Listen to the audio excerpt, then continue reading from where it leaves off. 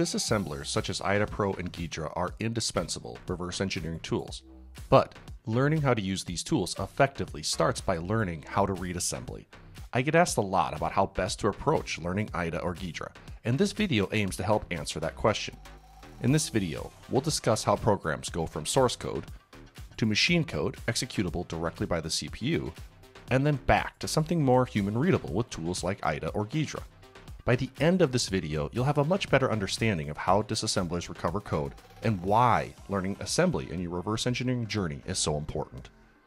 I hope you're enjoying these videos. If so, please take a moment and hit that like and subscribe button. Ready to dive into a full course covering the basics of IDA or Ghidra? Well, I've got great news for you. I have two full courses available on Pluralsight to help get you started. The link for both courses is in the description below, so check them out. Okay, let's get started. For today's demonstration, I'm going to use some sample code that I have available on one of my GitHub repositories. I'm going to choose switch.c. There are plenty of programs here, and I've more or less picked one at random. The goal here isn't so much to understand what's going on in the code, but just to allow me to illuminate or highlight the process that occurs when we take source code, such as you see here, compile it into machine code, and then use a tool like IDA or Ghidra in order to reverse engineer that to recover that code. So you can see with this program, we can identify the entry point. There's a local variable declared i. There's a print statement through the call to puts and a call to scanf, which, which gets user input. Um, there's a switch, and then there's a call to a function called large switch, uh, and this has a switch here. And this contains a much larger switch. That is, it contains more case statements than the previous. And again, our, our goal here isn't really to understand the logic of this program, but just the process. I'm going to download this program then, and I'm going to save the source code on my desktop. Now, you're free to modify the source code, of course. That's the point of having source code, is that we write a program in the language of our choosing, and then we allow it to be executed by the environment in which it's designed to be executed in. So, for example, we have a program here written in C we will compile it using Microsoft Visual Studio, and then it'll be executable directly by the operating system, the Windows operating system. Okay, so how does that source code, though, turn into something that's executable by the computer? Well, I have the developer command prompt open, and the easiest path is to use CL, which is the Microsoft compiler, at the command prompt in order to compile that program into executable output. That is, we have an executable program, switch.exe. Now, there are a number of intermediary steps that happen here. Namely, that source code is translated into machine code, and any dependencies, particularly through libraries, are also linked into the binary. This helps the program when it needs to call code that it doesn't define, such as a puts or a gets, as you saw earlier, by linking that library code into the executable. So, what's happened to that source code now that it's gone through the process of compilation? Well, here we have our executable, our output file let's right click on that and we'll choose HXD as our hex editor. The hex editor is going to allow us to just view the raw content of this file. And there's going to be some information in here that will be recognizable if you're familiar with the PE or portable executable file format, such as the first couple of bytes, 4D5A, those are the magic bytes, and mm, you know strings here, such as the what's called the DOS stub. If you're not familiar with the PE file structure, don't worry about it at this time. We don't need to focus too much on it.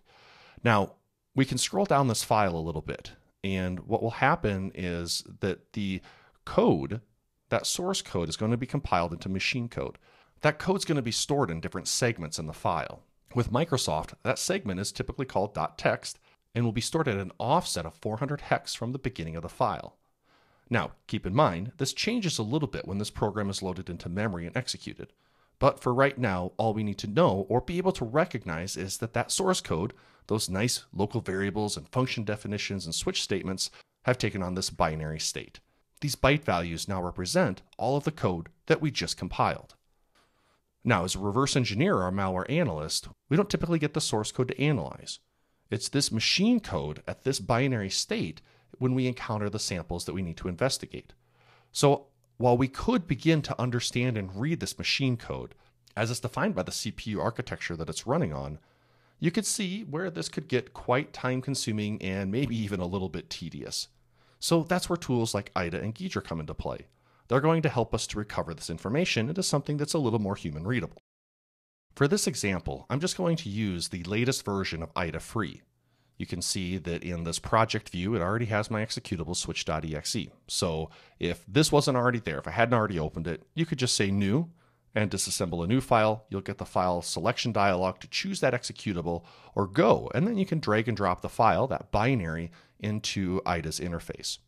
Once we select the project, it'll take a moment here. You'll get a load new file dialog. You can see this is where IDA's recognizing the portable executable file format so that it understands the structure of the file to identify metadata as well as where it can load the executable code. Once it's done, I'm going to make one slight modification to the interface. Under Options General, I'm going to enable line prefixes and we'll turn on 7 bytes of opcodes. So you can see that those two settings there. Adjust my display and then I'm going to close the output window at the very bottom.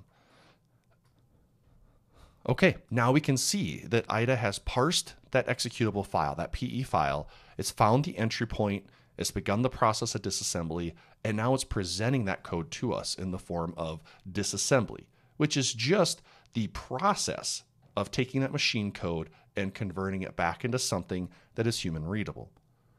We're really just looking at assembly here. Now, you'll notice that I turned on line prefixes these are going to be virtual addresses off to the side here, and then opcode bytes. This actually represents the raw byte value for each instruction.